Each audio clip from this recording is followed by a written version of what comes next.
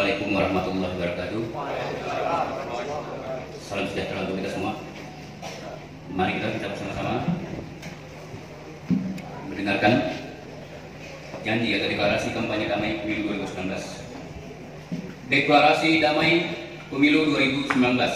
Deklarasi damai pemilu 2019. Kami pengurus partai politik yang ada di Kecamatan Kundur, Kabupaten Karimun, Kami pengurus partai politik yang ada di Kecamatan Kundur, Kabupaten Karimun, bersama TNI, Polri, pemerintah daerah dan masyarakat Kundur.